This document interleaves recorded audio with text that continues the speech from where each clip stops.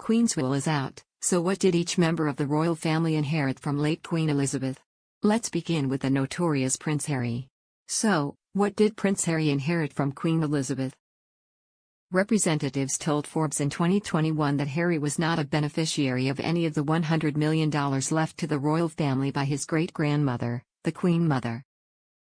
However, after the death of his mother, Princess Diana, Harry and William inherited part of their mother's estate on their 25th birthdays, which was around $10 million each, according to Forbes. In a CBS interview with Oprah Winfrey and his wife in March 2021, Harry revealed that he used his trust from his mother to support him and his family after his father, Prince Charles, cut him off financially at the start of 2020 following Harry and Meghan's exit from the British royal family and move to the United States.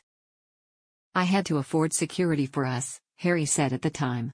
I was cut off in the first quarter of 2020, but I've got what my mom left me, and without that, we would not have been able to do this.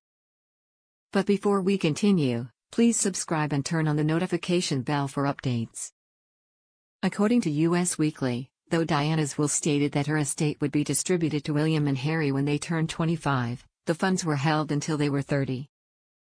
Despite the hold, the brothers were still able to receive interest on their trust funds. While Harry and William were the chief heirs of Diana's estate, the People's Princesses will also listed others with whom she wanted to share her wealth, including her butler, Paul Burrell, as well as 17 of her godchildren, according to Worthy. So what did Meghan Markle inherit from Queen Elizabeth? Representatives told Forbes in 2021 that Harry was not a beneficiary of any of the $100 million left to the royal family by his great-grandmother, the Queen Mother. Radar Online confirmed that in September 2022, reporting, there's a very good chance the Queen won't leave either of them any jewels of value, a source said. It's not surprising since they're not members of the royal family anymore, but it would be a real slap in the face.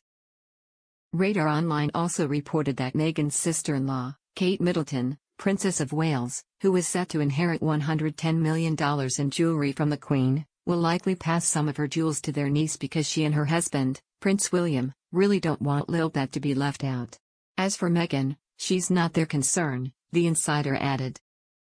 As for why the Queen left Meghan out of her inheritance, Radar Online speculated that it could be due to either practicality or Harry and Meghan's drama with the British royal family.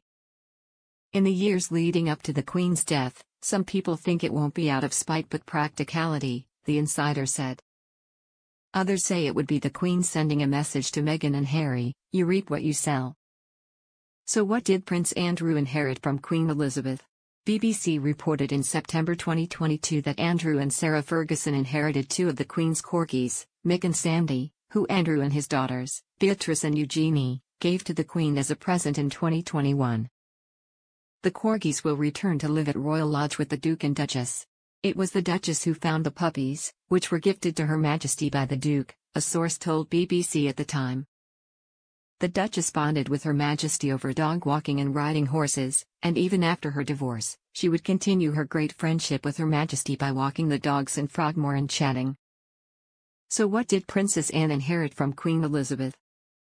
According to i24 News, Princess Anne, as well as her brothers Prince Andrew and Prince Edward, inherited a share of the sovereign grant, which is now owned by their oldest brother, King Charles III.